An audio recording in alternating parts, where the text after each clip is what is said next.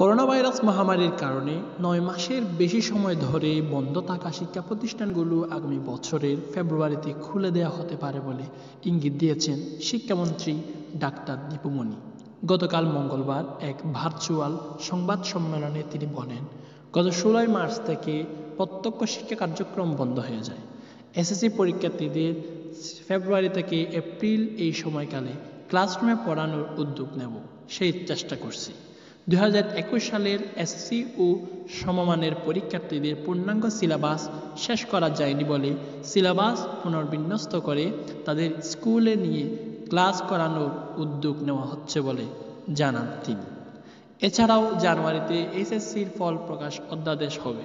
জুনে এসএসসি ও জুলাই আগস্টে এইচএসসি পরীক্ষা নেওয়ার পরিকল্পনা আছে।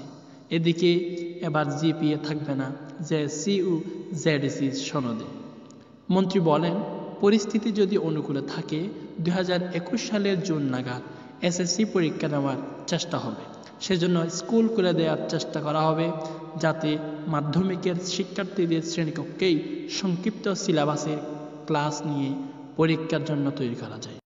আমরা ফেব্রুয়ারি থেকে এপ্রিল দু হাজার একুশ সালের ফেব্রুয়ারি থেকে এপ্রিল, এই সময়কালে আমরা ক্লাসরুমেই তাদেরকে পড়াবার একটা উদ্যোগ নিয়ে আমরা চেষ্টা করছি।